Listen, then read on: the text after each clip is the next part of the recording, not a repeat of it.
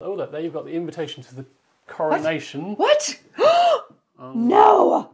That was that was the Queen's coronation. There you go. Oh my goodness! 53. What? That's, the Queen. So there you go. So put those back up. I'm going to. I'm going to frame these. I know though. Julie gets really excited. no, no, I am going to frame these. But this, what? I get more excited by this actually. A certificate saying that my grandfather, Lord Hinchingbrooke, was made an honorary citizen of New Orleans.